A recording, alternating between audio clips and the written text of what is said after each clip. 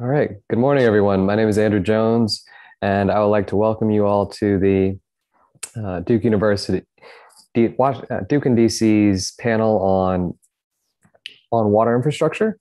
Um, so, one second, having slight technical difficulties here.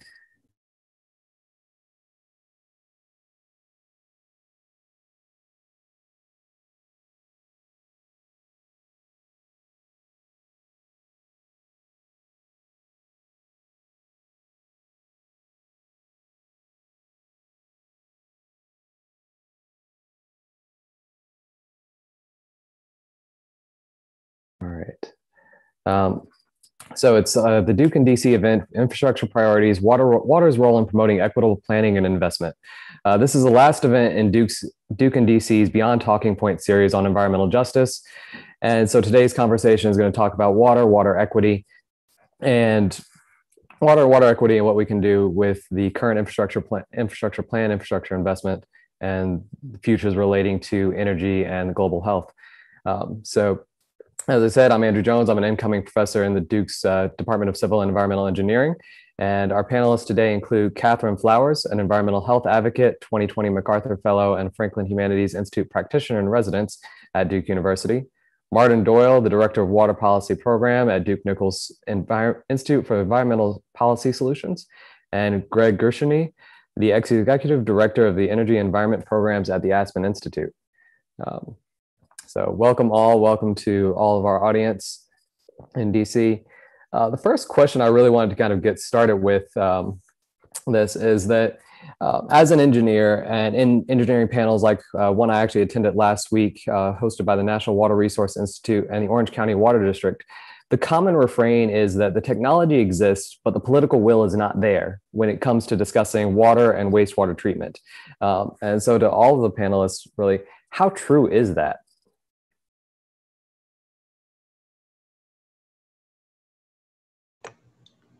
Well, I'll jump in and answer it first. Just being on the ground as, as a person working with communities that are impacted by failed infrastructure, uh, uh, I don't believe that the technology exists to deal with climate change. I think that when, when the technology was developed, it did not take into account climate change, NOAA just release a report saying it's going to be drier in the west and wetter in the east.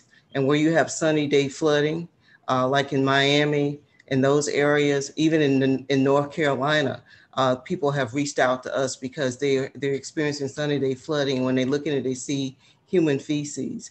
Uh, we're hearing, initially I was hearing from people talking about failing uh, wastewater technologies that were poor because I work in poor community, poor rural communities. But now I'm starting to hear from people in urban communities with the same problem. I'm actually engaged in a year-long project with the Guardian uh, where we're actually documenting wastewater problems across the US because there's no central database that, that collects that data. And we're finding that a lot of the technologies are failing. One of them, I think, is because of climate change. And I think the other one is sanitation equity, because the cheaper technology was generally placed in the poor communities and they are not resilient. Do we have the technologies? That's another question. We'll talk about that when we talk about solutions a little bit later. But I don't think that those, if those technologies are available, they have not been available to the communities that need them. Yeah, and picking up on where Catherine kind of jumped right in, I, the I think at one of the very first Aspen Nicholas events that we had on water, uh, someone said um, we can treat any quality of water to any quality standard we want, given enough money and given enough energy. Um, and so I think that there's uh, the technology exists to do amazing things with water, to clean it, to move it, to pump it, to uh, to do all these types of things. Um, but what it takes is both, like you said, Andrew, the political will, as well as a fairly large amount of water and energy, uh, or a, a, large, fairly large amount of money and energy. Um, and uh, again, this gets to the equity issue where if the if the finances, if the money is not there for particular communities, the technology may as well not even exist because it's just uh, it's not going to be available to them. I think Greg probably as well on this. Yeah, I, I mean, I think um, as Catherine talked about, like the technologies that we need for these issues around, uh, especially in the face of climate change, aren't there yet, and we'll talk more about that later. But we, when we think about research and development for these technologies, we need to think about not just what we need now, but what we need 10 years from now or 20 years from now, because when we install these technologies, they're going to last for decades in some cases. And so we've got to really be thinking ahead, not just the next couple of years. And it's also, you know, I think for a lot of people who have clean drinking water, who have sanitation, it's really easy to forget that there's a lot of people within in the US that don't have access to those things.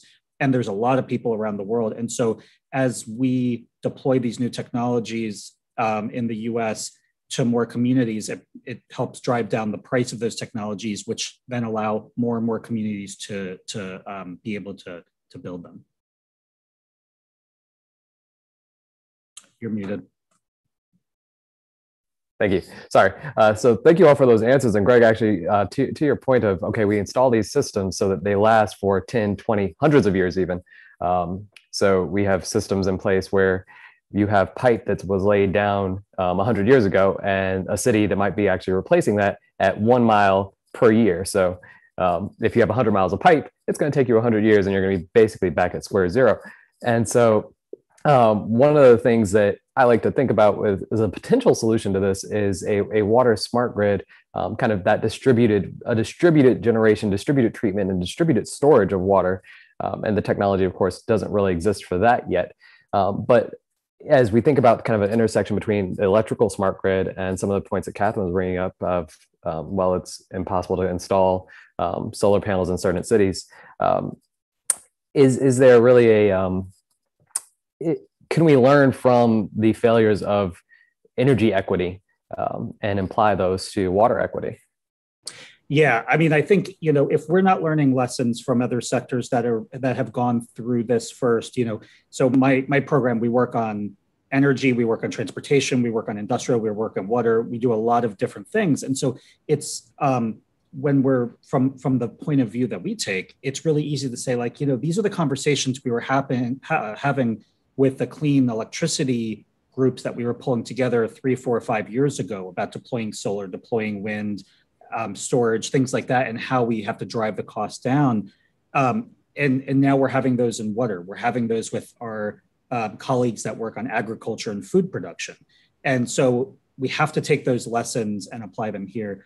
I think the it, you know the industrial revolution not to go too far back but like led to this centralization of uh, creation of power, creation of um, you know clean water, sanitation, and I think for the last decade or two, and it's accelerating, we're heading back to a more distributed model that's going to end up being less expensive in the long run, and it's going to give more people access to the technologies um, as we're able to kind of miniaturize these technologies. We don't have to build a giant sanitation plant. We can have you know a technology that goes in the size of a closet that can that can do these things within a house or an apartment building um, that allow more people access to it and reduces the amount of infrastructure that we need to build um, because you know at the further out you are in a rural area the higher the cost is because you have to get there. Um, you mentioned you know some of the northeast cities that are replacing their water pipes. I mean there's some cities that ha- a lot of cities that have lead pipes. I'm in dc and a lot of the lead pipes have already been replaced here, but there's cities with wooden pipes that are from two centuries ago that um, are still in the process of being replaced.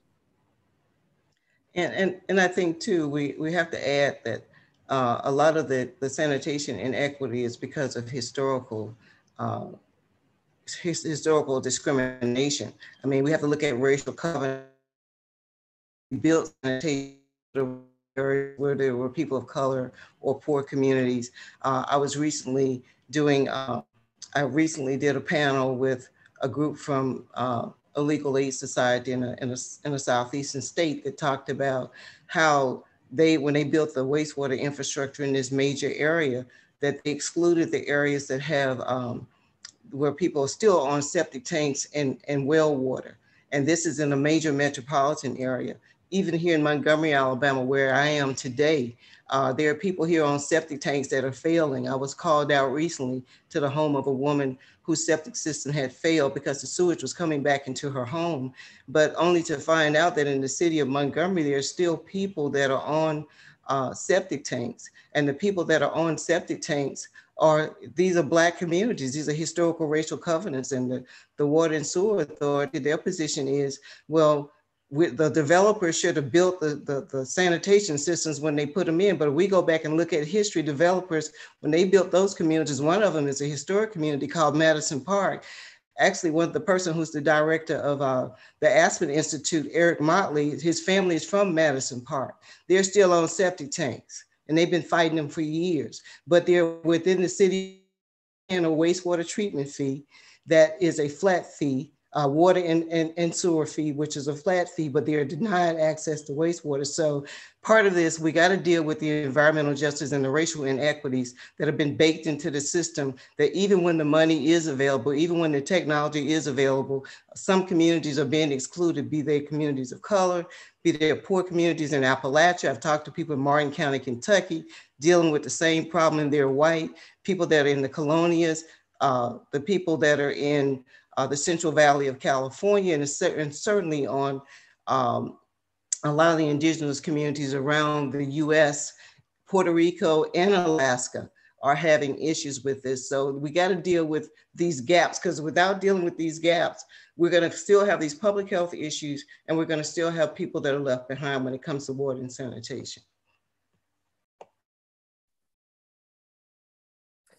That actually leads, leads me to a, a great question on um, kind of coordination between um, between different agencies between of, of, the government. So when we think about um, kind of the health aspects that you were just mentioning, Catherine, that we do have large disparities in health, um, largely due to water issues.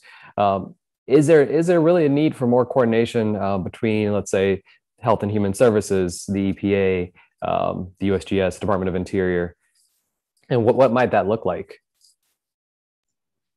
Um, yeah, I'll take a, a, crack at this real quick. Um, I think that there's the there's cross agency or cross topic at the federal level, but then also between the federal and the states. And I think that this is where things um, that there's these multiple dimensions. Um, good old federalism is always going to come back and bite us. Um, but I think um, there's traditionally the way we've thought about water has been that it's the purview of Department of Interior, maybe the Corps of Engineers, and EPA. Uh, with climate change, obviously, uh, commerce and uh, NOAA is coming in more and more. Um, but on these issues related to, especially when health comes in, um, HUD becomes a, a, very significant player. Um, Department of Health and Human Services um, is, is who it looks like the routing of water affordability money from the Biden administration is going to come through HHS instead of through EPA. And so, um, you know, water kind of permeates into all of these different types of uh, programs and decisions and so the the agency becomes relevant. But i think one of the other uh, big factors is that in the end water is local. I mean we're talking about septic tanks. We're talking about indi- you know an individual neighborhood is very different from the neighborhood immediately adjacent to it. Um, and the reality is the vast majority of money comes from state and local governments for water. Um, the federal government is financially a relatively it's a it's a player but it's not one of the bigger players so we, we can't just talk a push on the federal government to do some coordination.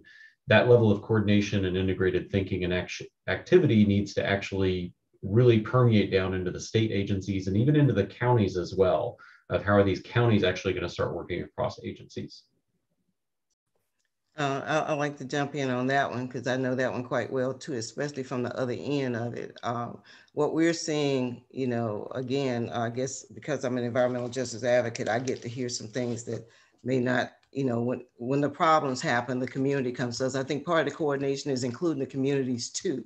And what is happening is that people are making decisions who've never been to these communities, or they just rely on the politicians who are in some cases they speak out against what's going on they get punished by being cited by regulators who are oftentimes in cahoots with folk that are part of the problem. I've just got a call from people in uniontown alabama for an example. In uniontown alabama uh, uh, an engineering firm got the got the rights to build a, a system that the local community say has failed. They just got money to build a, an additional system and the community spoke out against it and even some of the elected officials were against it. They went to court to, to force the city to get out of the way. Why can you how do you put in place something that they have to maintain and force them to take it when they know this engineering firm has failed, but because of the, the, the, the access that they have, they're being forced to still deal with the same thing over and over and over again. So uh, I, I, was told in that particular case, an official from um, the federal agency actually visited the, the town and said that you got to sign these documents. If you don't sign the documents, you won't get anything with this because they didn't want that particular engineering firm. And then the same thing is happening in the town of Whitehall, Alabama, where uh, they're building a sewage lagoon next to an elementary school. Now, the reason I got the MacArthur Fellowship was because we found evidence of hookworm and other tropical parasites uh, in Lowndes County. Why would one build a sewage lagoon when in the town of Haymor, which is the county seat that already has a sewage lagoon, Miss Charlie May still has sewage running back into her house from the lagoon.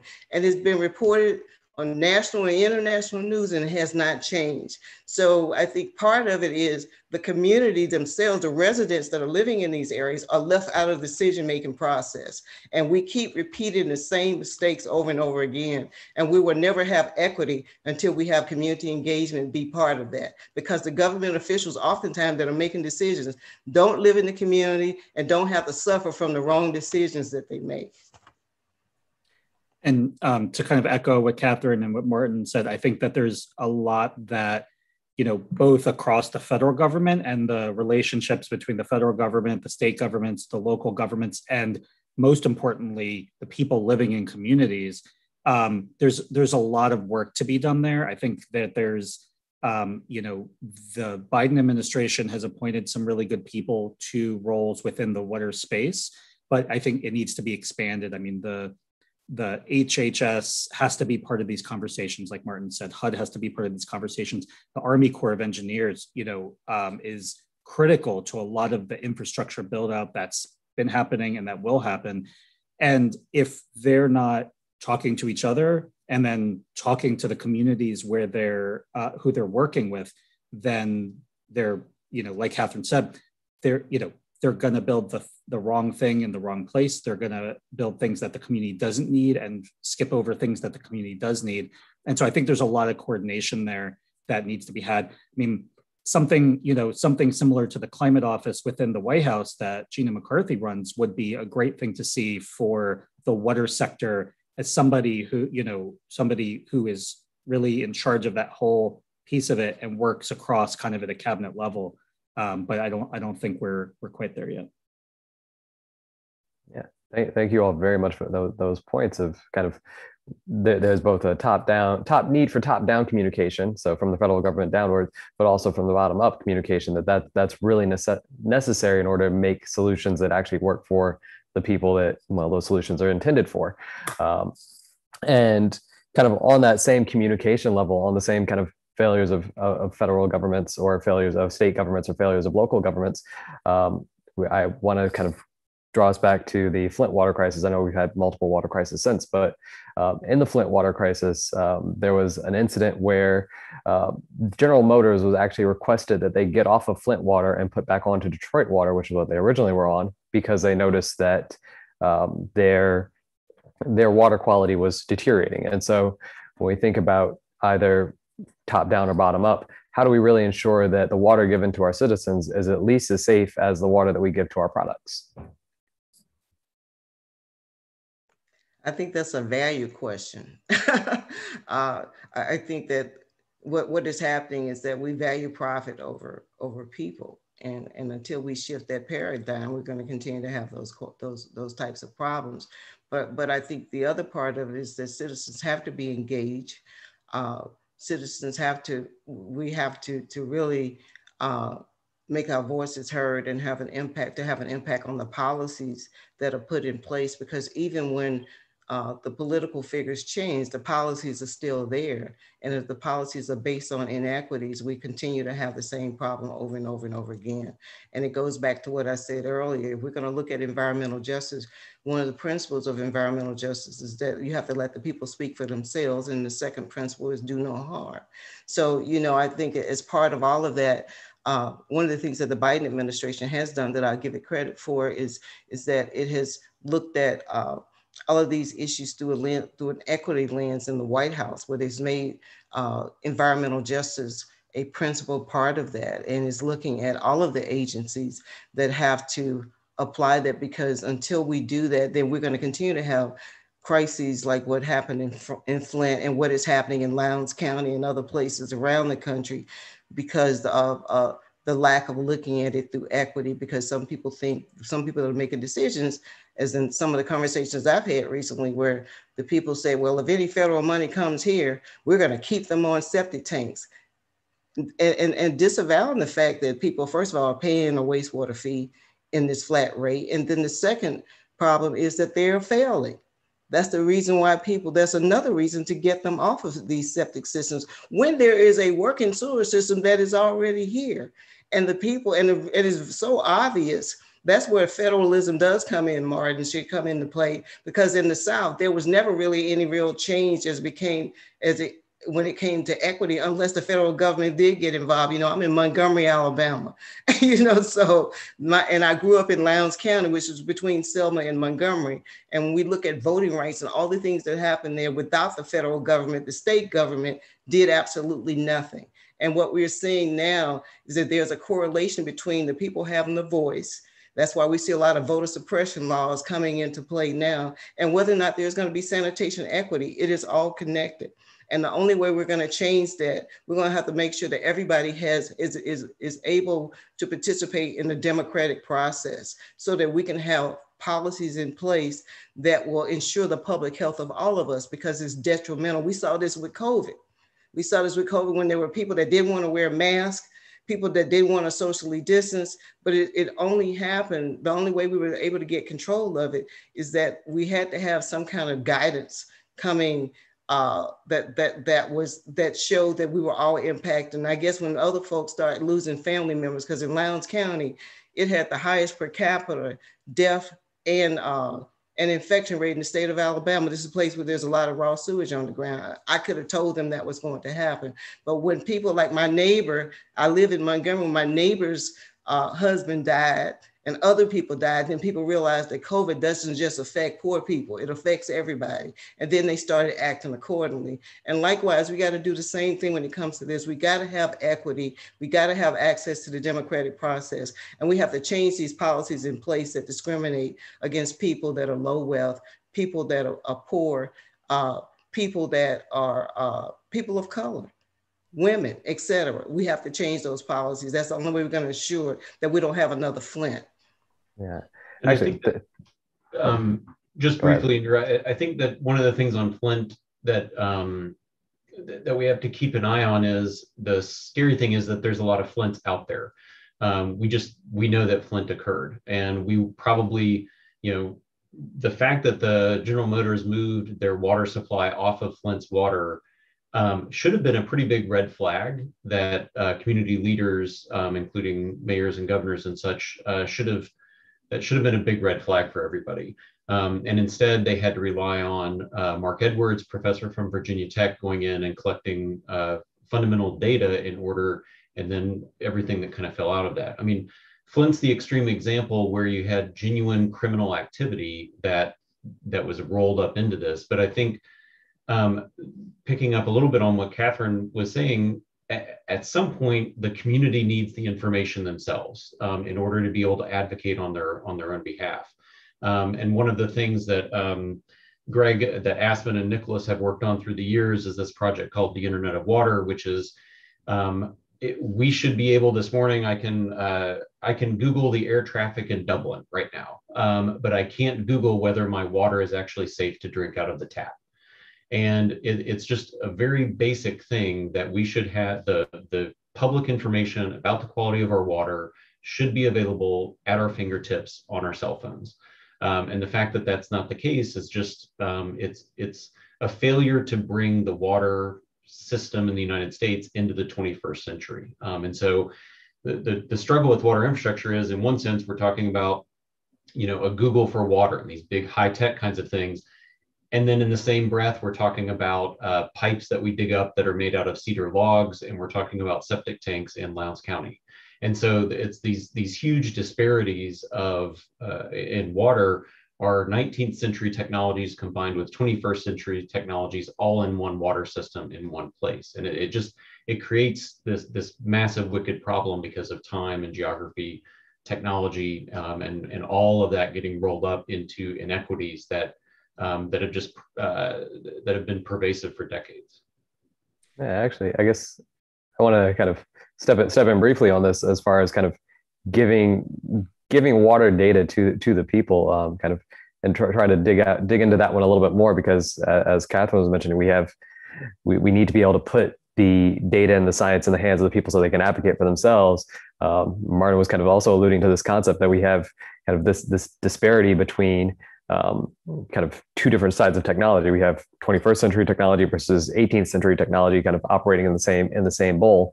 And the Safe Drinking Water Act was kind of supposed, it was supposed to fix that. It was supposed to, we mandated water reports and those water reports are supposed to be, they're supposed to come out every year. People are supposed to read them, understand them, and be able to take them to their politicians and advocate for better water quality. But we know that they're failures. And so, yeah, I want to kind of toss that to both Martin and Greg and Catherine. Kind of what can we do to improve that system? Yeah, I mean, I think um, just, you know, kind of starting with what Martin was saying about the Internet of Water. You know, now like today I can log on to the PJM uh, app on my phone and see what the electricity mix is for Washington D.C. I can see what the electricity mix is in California, and I can know, you know, how much coal, how much natural gas, how much solar, how much wind is being used. And so that's a relatively new thing. Um, utilities used to release those on an annual basis, and you could go dig through their annual report to find like what that mix is. And so I think the you know the access to the information is the critical thing here that allows people to be advocates for themselves and for their communities. And the more information people can have that's digestible, that is easily accessible, and that isn't hidden in 400 page government reports, um, the better off we are because then communities can act. Um, I mean, going back to Catherine's earlier point, my parents still have a, a septic system and a well because they live in a rural part of New Jersey. And so I think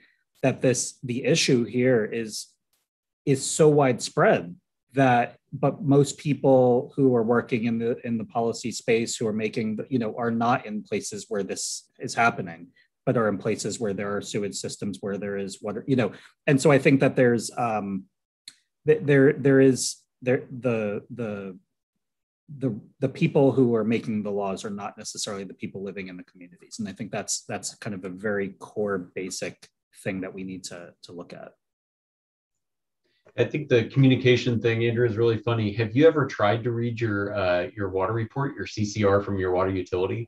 Um, there's a great group in DC uh, called Epic that uh, just did a kind of a crowdsource uh, thing where they they led a, an initiative to try to redesign the way information is presented in the CCRs. Um, I mean, my kids can read their cereal box, and they do read their cereal box every morning.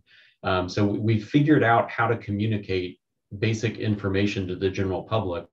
But when you pick up information about your local water utility and the quality of your water, uh, number one, you get a report on the water that you have been drinking for the past year. So by then, you know, basically it's too late. And number two, it's presented in a way that's, I think, about at the level of reading of a journal article. Um, and so um, I get bored reading uh, journal articles. And so I imagine that a lot of people do as well. Um, so what we're communicating, how we're communicating, the things that we basically communicate about water. Um, if you wanted to design a system that was more intentionally opaque, it would be difficult to do so. I, agree with both Greg and, and Martin. I think they, they raised some very good points. I think another part of that, when we go to sanitation, it's the same thing. There's no central database that one could go to and actually find out in all 50 states uh, who has sanitation, who doesn't have sanitation, who has failed systems. Uh, I had mentioned earlier that uh, my organization, the Center for Rural Enterprise and Environmental Justice, is actually engaged in a year-long project with the Guardian newspaper where we're trying to document these issues and we're asking people to self-report. But we're also embarking upon a, a, larger study where we have interns that will be actually collecting this information in all 50 states and hopefully can work with Martin and we can work together and talk about water and sanitation and have some type of uh, access or database where people, the community can go and see what's there and also be able to map this because we're talking about solutions, but we don't really understand the problem yet because there has been no central collection of data. Um, one of my roles um, with the White House Environmental Justice Advisory Council is that we're building an equity tool. And part of it is used looking at data. And a lot of the data that we really need uh, or the, it's just simply not available. But I think that that's where the academic community comes in and can work with uh, citizens in the community to collect the data. And that's where the community engagement is needed in terms of citizen science and, and, and combining, because again, with us working uh, to do the parasite study. It was the local community. When the doctor came in from Baylor to collect samples, people would not receive him. I actually had to tell him, go back to your hotel room because they're not going to talk to you. And we collected the samples because the people knew us. And consequently, we were able to gather this information. And likewise, um, recently I was I was contacted by someone from the University of Pittsburgh because EPA had reached out to them to do um, to put together a, a, uh, a curriculum on training local folk in Louisiana, this part of Louisiana who had an aerobic system that had failed uh, to train them on maintenance. And the people were resisting them. And I said, okay, so you went to EPA. At what point are you going to get the community involved? I said, you're going to go in and tell them that they're stupid, they don't know how to operate this system, but you haven't asked them what the problem is. And they said they they did not, the community was not engaged. I said, but you bring the community in on the back end, there's no buy-in. That's why they're resisting you. So consequently, I think we have to redesign how we do how we gather data to also include people that that are on the ground because we'll get more accurate data when we do it that way.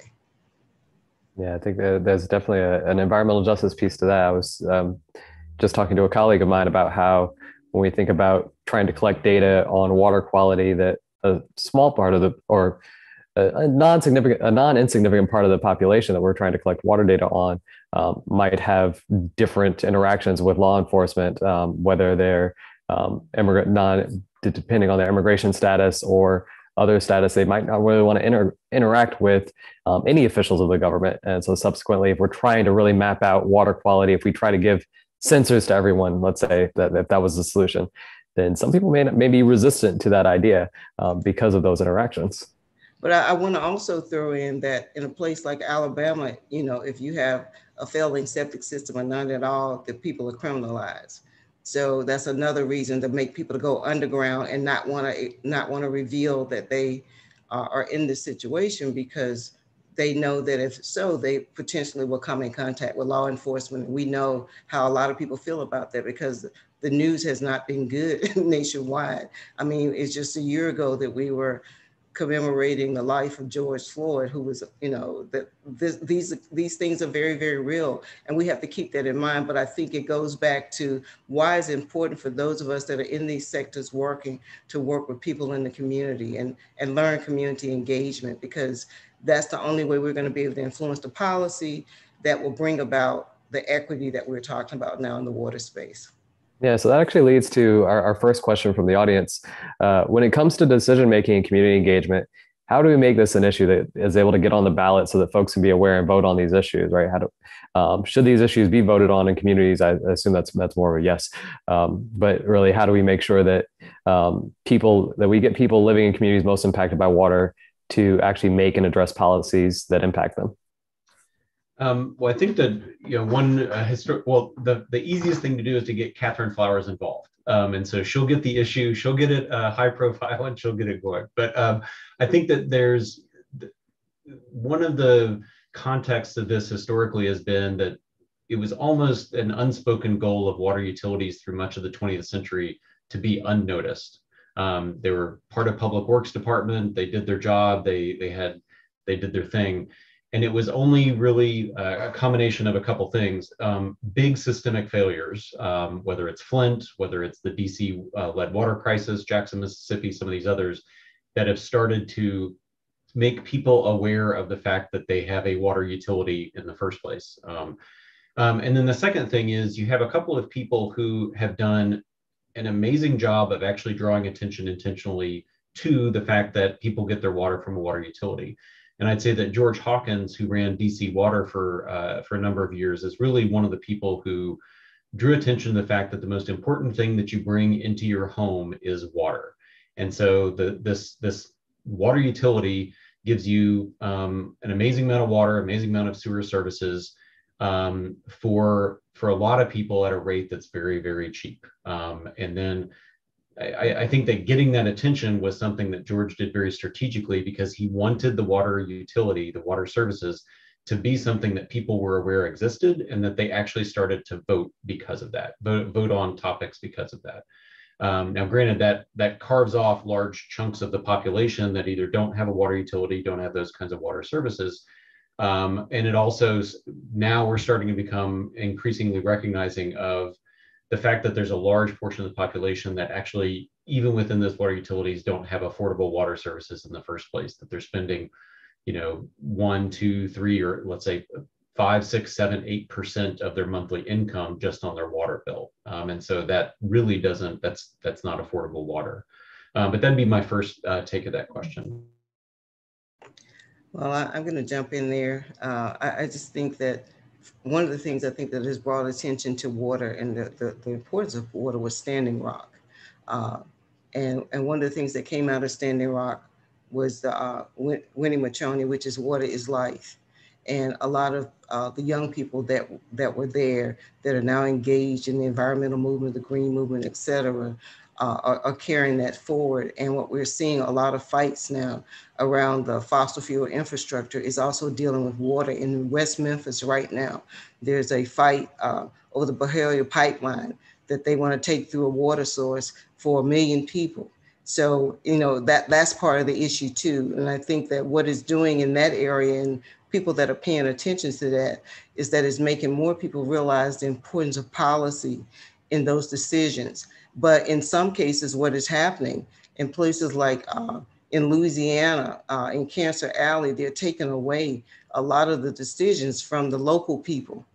And, and the decisions are being made outside of the community in terms of where these issues are being sited. So I think that ultimately it's going to have an impact. I'm not a, I'm not a lawyer, but I work around a lot of lawyers. But I, I think that that ultimately taking away democracy from these communities to have a right to choose is also a factor. And here, and, I'm finding throughout in some of these areas too that um, where water was a part of the public utilities, that they're now becoming private entities that's more interested in profit. And by the time people know about it, it's too late. And, and I'll jump in and just say, I think, you know, having the water conversation be part of the climate conversation is going to be really beneficial to getting things done in the water space. Um, you know, since 2018, the climate conversation has really taken on a different tone and a different trajectory than it had the 30 plus years before that. And things have really changed. And so seeing water as part of that access to drinking water, access to sanitation in the US, around the world, and the interdependencies between water and, uh, and energy, um, both you need water to create electricity, you need electricity to move water. You have um, things like, uh, you know, um, Catherine was referring to some of the pipeline issues, like there's the Michigan uh, pipeline that's, you know, there's a lot of uh, consternation about it going under the water supply for most of northern Michigan. And so um, I think that these th- this this is going to bring it to the forefront for voters more than it has previously. Voters are all, are always going to think about the things that most impact them, and so you know health, jobs, the economy, things like that are always going to be at the top of the list. But hopefully, the water that comes into their houses and their apartments, the energy that you know is also going to be um, up on the up, up up towards the top of that list too. I guess link, linking off of that one, um, I, I want to kind of think about the uh, there's an act that's that's currently um, in discussion, the Innovation and Comp- Competition Act of 2021. Um, in that act, water is mentioned 36 times. Um, it's split mostly between navigable waters in the Indo-Pacific, uh, safe drinking water for that same region, so the Indo-Pacific as well, um, and a couple other things. Um, but there's really no link mention of the link in between chip manufacturing and high water usage um, or the heavy metals used in chip manufacturing right so this, this concept that we've been talking about of uh, where we site and where we move um, certain parts of energy or certain parts of products, um, that we don't really link those to we link we take the economy but we don't link the to the water usage um, there. And so um, how can we make that another part of the conversation that when we start talking about the economy we talk about jobs when we talk about manufacturing when we talk about energy how do we make sure that people are also aware that that actually still does have a link with their drinking water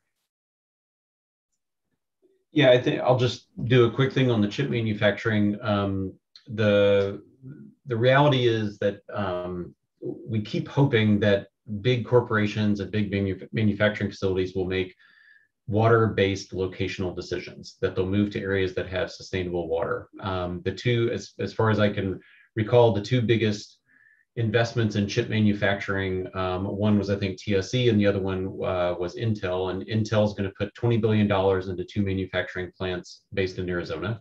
And TSE is going to put $12 billion into a chip manufacturing place, again, in Arizona. Um, I, it's you know of the regions of the United States with uh, water challenges on the horizon, if not right now, um, the Colorado Basin, including Arizona, is one of the more significant ones that's sitting there. So um, Arizona is a little bit strange. It's got some really good water from the Salt River Project, um, so it does have some water security. But when major investments uh, on something as central to um, uh, uh, to our economy as well as our national security as chip manufacturing is being placed in uh, somewhere like Arizona that clearly has water challenges, um, that really does start to raise questions about um, are we putting ourselves in a position where water security and national security are truly intertwined because of a locational decision of a chip manufacturer? Um, so um, I, I, hear companies say that they they want to be water sustainable and that they want to make locational decisions based on water, but I just don't actually see the evidence in their final decisions being made.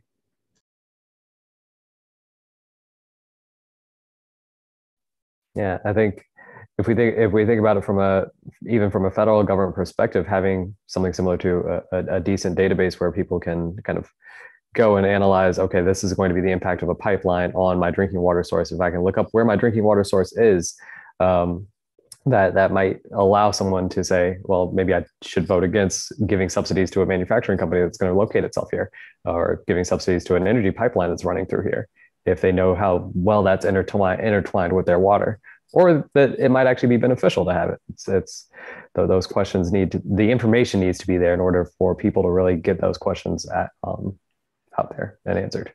And also, Andrew, I like to add that that uh, you know, as a as a teacher, you know, I, I, taught in middle and high school.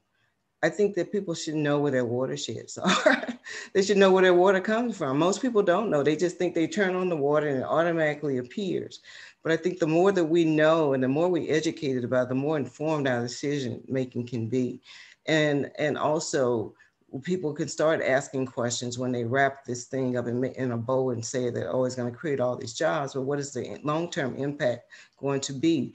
Uh, I've read stories about people buying houses in parts of Arizona, to Martin's uh, comment, where they have turned on the tap and there's no water coming out. Uh, but there are, there are issues that, because water is, you know, unless there's a flood or we're enjoying it for recreational purposes, I think we don't think about uh, water in that way. We're starting to change the way we think about it, but I think we also need to incorporate in our educational system. If you, if I live in Alabama, I need to know what watershed I'm a part of, and I need to understand uh, how what I do to the water affects the people down in Mobile and other areas. So those things are not being taught anymore. I, I think I just came through the educational system at a time when we were teaching geography and we did teach those kinds of things. And for some reason, it hasn't been emphasized as much anymore. And I think if you ask the average person on the street, uh, where does your water come from? They would tell you it comes from a tap and they can't go any further than that. But I think that that's one way in which we can can realize the importance of it and then make good policy about how to preserve it because water, as we can see, I mean, we, we've seen examples in South Africa, but there was a major city there that was running out of water. I mean, that is not too far in the future for some of us if we do not do it differently from the way we've been doing it all along. Yeah, I, I, you have a really great point with the that education piece. I, I can think about my own um, experience as a high school student when I first when I first finally I guess graduated to being 18 and was able to vote. One of the things that we were voting on um, in the city I grew up in, it was Tallahassee, Florida, was uh, members of the Apalachicola Water Board. Uh, I did not realize that the Apalachicola Water Board controlled kind of that intersection between Alabama, Georgia, and Florida. That I was sitting right there. That that was that really important thing. I now kind of regret how uninformed I was in that vote um, in Leon County. I was like, I, I had no idea, um, and, and, I did consider myself a fairly educated 18 year old at the time. I wound up getting into IT for undergrad, but like I had no idea that that was that important of a role. Um, I guess um, let's see. So we have about 13 minutes or so left. Uh, we have one question from the audience um, that I want to pull up. It's actually related to a point we were talking about, I guess, maybe two or three topics ago. Uh, but what role do you see in community project funding in Congress playing in improving access to water in the future? Right? Will it become the main source of federal aid and assistance for poor rural communities who cannot afford water improvement projects through state and local funds alone? Well, I can I can speak to some of that. I I know through the American Jobs Plan uh, that they are proposing 111 billion dollars to deal with water and sanitation, and and and with a, and targeting rural communities, which has not happened before. I also know that there are there are some um, there, there's proposed legislation to deal with um, making sure that people in rural communities have access to, to monies to put in place at least on-site septic if it's available. But one of the things that I'm pushing for um, is not only just giving people money, but making sure that the infrastructure that the money is spent on works and that there are warranty service warranties that come along with this because one of the things that we found out at least on the sanitation end of it that these on-site systems once they're put in that there is the liability is transferred to the residents and i don't know of no product that anyone spends $15000 or more on that does not come with a service warranty i wouldn't buy a product in my home that didn't come with a service warranty. So that's one of the things that we're pushing for. But the American Jobs Plan, I think the big picture is that there are um, they have heard us uh, because I've been talking about waste and sanitation for 20 years, but they have heard us and they're listening and they're trying to make sure that there's there's uh, water and, and, sanitation infrastructure in uh, in rural communities because a lot of them have been left out. And we're talking about, you know, we've been talking about Flint and the urban areas, but there's still some places in rural communities where people uh, they, they have they're using well water. They have their own wells. So we have to make sure that those people too who are taxpayers that there should be some type of assistance that provided to them to make sure that they also have clean water that is not contaminated and certainly not contaminated not only by septic tanks but also by industry because that has been happening a lot too. Yeah this one um, uh, the the rural communities is a super tricky one. Um, I, I, don't have as good of a command on that one, and so I've got to defer to people like Catherine and um, the USDA programs as well. Um, to be completely honest, the community project funding approach really makes me nervous. Um, in in that it's uh, what I saw during my time in federal government was um, going in and working with communities, coming up with a financing plan that they would be able to get financing come up with a repayment program, uh, kind of an approach. And then in the end, if there's a project or a program like a community project funding, uh, what I saw was the community's response in the end would be, you know, I remember the quote is, I, I think I'll just roll my dice with Congress. Um, that is, rather than kind of going through and pushing it through themselves and working through kind of the local projects and programs and doing some of their own local finance, that they are willing and uh, for good reason in, in some cases to actually try to push it through of getting a grant from the federal government. Um, and then I think the more systemic problem is that the scale of infrastructure needed is much greater than the scale of funding through the community project funding. And so these, these may address individual communities, individual projects and, and programs that are needed, but the, the scale of the problem dwarfs the amount of funding that's actually moving through the system. And I'd say that this applies to the infrastructure bill as well. The amount of money that we need in US water infrastructure is much, much greater than um, the portion of the infrastructure package that's moving through Congress right now. Um, so the problem's just too big for for what we're talking about, and we've really got to start to think about more systemic uh, addressing the system rather than these individual types of, of gap filling types of approaches.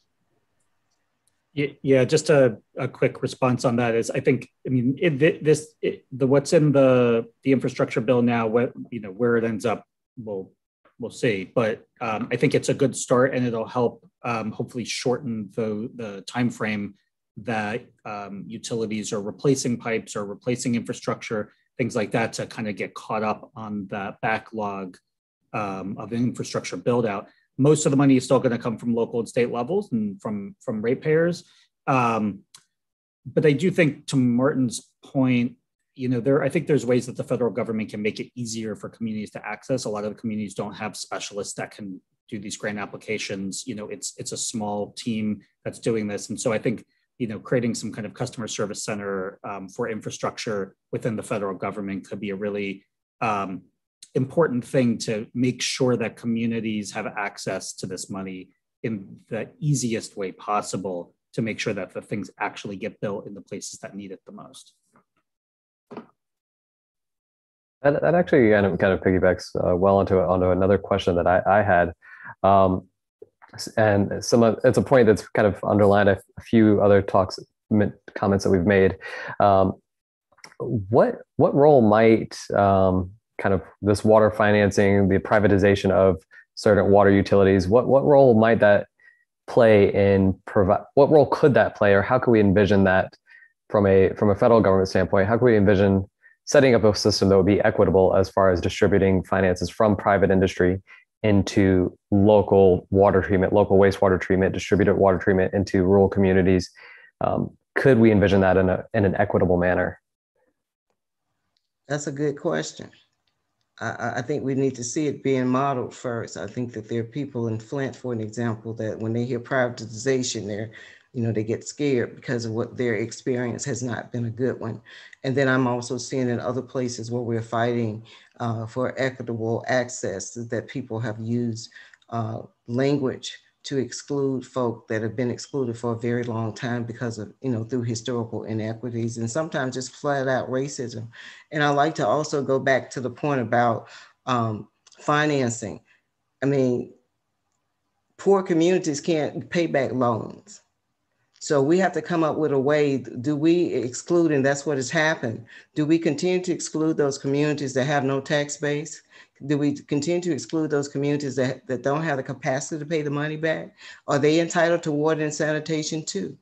And then that comes to the question of the human right to water and sanitation, which is part of the sustainable development goals of the United Nations that we want to eliminate poverty.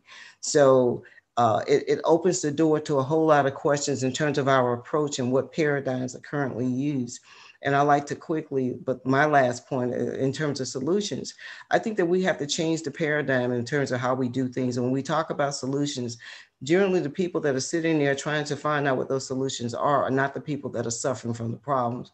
I think they should be sitting at the table too. And we need to change that paradigm. Even when it comes to engineering, I think that the people that are suffering with the problems can help us find the solutions to how to treat wastewater better and and generally they're not sitting at sitting at the table they're actually the ones that have to have a buy-in after these things have been created and could help us avoid a lot of the mistakes that we make. So through our organization, the Center for Rural Enterprise and Environmental Justice, we plan to partner with some of the best engineers and, and scientists in the country to come up with solutions. And one of the things that we're looking at is how they treat wastewater in outer space. I think if we can combine people from rural communities like Lowndes County who are keeping tractors running that are 40 years old and people from NASA, we can come up with a way to treat wastewater that's efficient and that can be affordable and available to everybody and something that you can go to a Lowe's or Home Depot and buy. And that's what we're gonna be working on. Um, I'll make my last comment here, Andrew, and then uh, maybe let Greg do it. Um, I, the the rural side is beyond me, to be honest. I, I the the solution set there is just it's just an unbelievable challenge that people like Catherine are really trying to dig into, and I just don't. I uh, I've um, I just have no idea.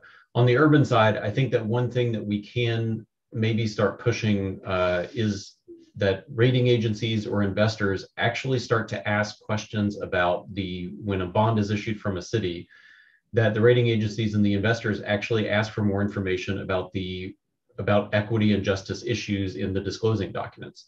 They should ask how much of the revenue is coming from this portion of the population versus that portion of the population? How much of the revenue for this uh, municipal bond uh, how much of the revenue is actually coming from fees and fines um, if you go back and look at the disclosure documents from the city of Jefferson, Missouri before the protest there, turns out that the general revenue from Jefferson, Missouri was getting 20% of its revenue from fees and fines. That's totally unsustainable. And that means that 20% of the city's revenue was coming from the uh, low income, predominantly Black portion of the population in the city as well. So um, I, I, think we need in the in the urban side when we're using finance, we can and should expect more thoughtful decisions from the investors themselves. Um, they can drive at least information disclosure. They can actually potentially drive um, decision changes, um, but it means that actually uh, additional information is going to be needed. Um, so on the urban side, I think that we can start to move the needle a little bit. On the rural side, I think that uh, things like grants are going to have to be needed for the situation that we're in now. Thanks.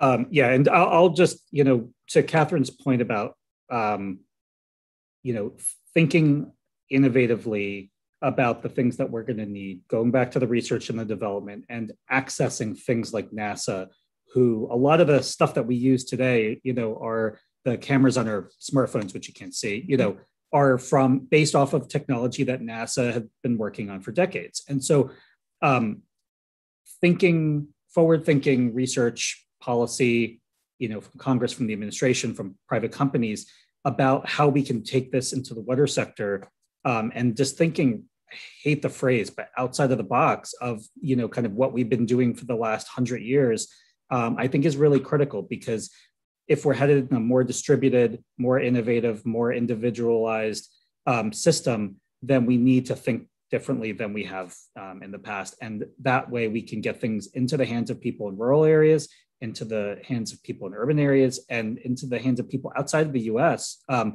who need this just as much or more than, than we do here. Yeah, I think um, but before I close out, I, I guess I, I, could add in kind of my old experience in this this this panel kind of changed the way I thought about that experience. So I used to do research on microbial fuel cells, which were seen as a way of treating wastewater um, and producing energy at the same time in a carbon neutral sort of way. Um, and I looked at that and said, okay, that's, that was just a failed experiment, a failed amount of investment. Um, but that investment actually came out of um, the Naval Research Lab and the Navy's interest in being able to treat water remotely, right? If you are on a ship or if you are on a submarine, you can't treat your wastewater in the same way that we do um, on land. And so that was their interest. And so solutions that they were interested in would have also benefited rural communities. That's the way that I pitched my research was rural and um, developing countries. It was those were the two aspects that that research targeted. And so if we think, if we again try to think outside the box, if we think of other people that may benefit from these new technologies and these new creative technologies, we might be able to say, but we can pull in a bunch of different people all in the room together to say we can create an innovative solution that might work for everyone and not just those in urban communities or those in rural communities that we can create these uh, slightly more universal or not universal solutions but customizable solutions. Um, so um, with that i would like to thank all of my panel. So i would like to thank uh, martin doyle greg gershuny and catherine flowers. Um, this was a great discussion. As i said it kind of made me look back on past experiences in a, in a better light. Um, and so thank you all very much. And